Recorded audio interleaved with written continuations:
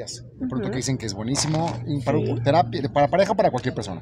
¿Ustedes también lo, lo, han usado en algún momento? Hace algunos años, hace algunos años, eh, en alguno de estas este, crisis, eh, decidimos ir a terapia y, y, bueno, sí, siempre hay gente que te ayuda, pero sinceramente creo que la, la, la, terapia obviamente no se hace sola, ¿no? Es como las ganas y el compromiso y, y, de verdad, o sea, una persona no vaya a llegar a arreglarte la vida, te puede dar consejos, este, em, y sinceramente sí creo que estuvimos un ratito, no conectamos mucho este, con, esta persona de, de, la terapia, no porque no, no fuera buena, simplemente decidimos nosotros seguir caminando juntos y, y y redescubrirnos y volvernos a, enamorar y, o sea, ya estábamos, es que ahí está, o sea, si te desenamoras por completo, creo que ya no tienes que estar ahí. Ahí estaba, simplemente había que alborotar un poquito al, al amor. esas hijas hermosas, me hubiera gustado tener un peloncito. Ay, fíjate que el primer bebé que perdí hubiera sido un niño. Este, habría sido un niño, hicieron un, como un estudio de por qué y los motivos y tal, y cuál era el sexo y uh, habría sido un niño.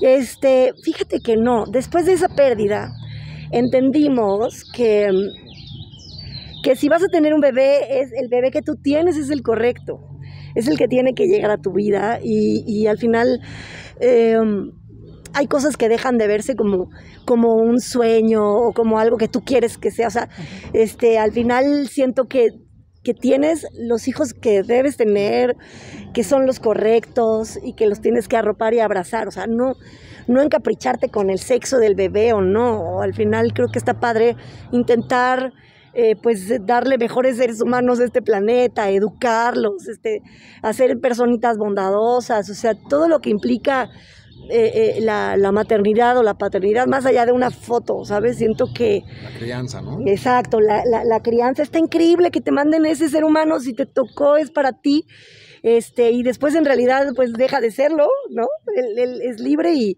y, la realidad es que estamos muy felices con nuestras niñas. Y hoy festejan en la arena, perdóname, eh, vas a la arena hoy me imagino para Claro, claro, me dice Eric, te hice toda esta fiesta.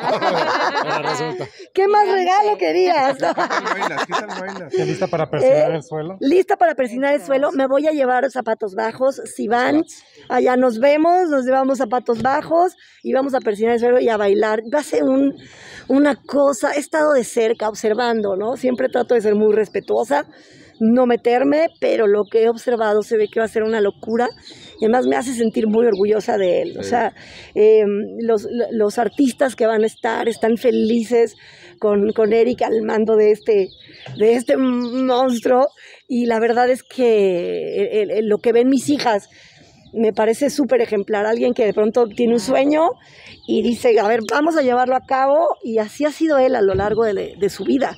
Entonces estoy feliz de celebrar ahí en el cumbia y estoy segura que la gente le va a pasar. Y es que lo más divertido de este cumbia es que no van a ser siempre los mismos artistas. Nos comentaba Eric que también invitó a la güera, ¿no? Invitó a Ale para que se unan a lo mejor en Estados Unidos. Es que sí, uno nunca sabe. De pronto a lo mejor vamos a poder ver a, a Talía o vamos a poder encontrar a, no sé, a, Pau, a la güera, a, quien sea, pues. A lo que voy a que este, este concepto no está cerrado para, para un elenco en especial, sino está padre además que tampoco es para, un, para el género de la cumbia. O sea, se sube entonces gente que le gusta el rock, el pop y cualquier tipo de música y a disfrutar y a hacer fiesta con las dos, sin duda para mí, o sea, las dos orquestas más emblemáticas de, de cumbia, ¿no? Oye, y después de esa gran fiesta, ¿será que se puedan dar alguna escapadita? Normalmente van a cenar los dos en el aniversario, ¿qué es lo que hacen independiente del cumbia? Es que hoy es un día distinto, hoy es una celebración distinta, entonces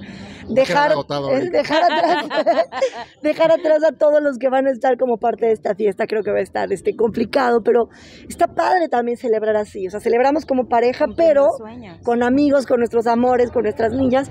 Y um, él mañana se va al, a, Veracruz, al, al 90s Pop Tour. Y después nos iremos de vacaciones y tendremos nuestros, nuestras escapadas. O sea, sin duda hemos estado, estamos disfrutando el momento. ¿Qué nos toca el día de hoy? Hoy nos toca celebrar con el cumbia y con los amigos y con la familia. Oye, y tiene que tocar porque es el aniversario. ¿no? Exacto, aquí nada de que estás cansado. Aunque sea en el camerino. Ay, Y de plano no te vas a subir al cumbia ay, en Dios. alguna fecha. En el escenario. Ay, Al ¿cómo que- cumbia machín tour. Aclarando. Al, al machín, no. este, no, no, ¿cómo crees? No, sería una falta de respeto, ¿para qué, ¿para qué me supo que se queden ahí los artistas? ¿Yo qué? Anda, muchas gracias, felicidades. Gracias, amores. Andrea, Gracias, gracias. Mil Gracias por todo, amores. Gracias. Gracias. Gracias, ¿Ah, gracias. o no? Me toca mi otro evento, pero sí van a ir a cubrirlo. Ah, Yo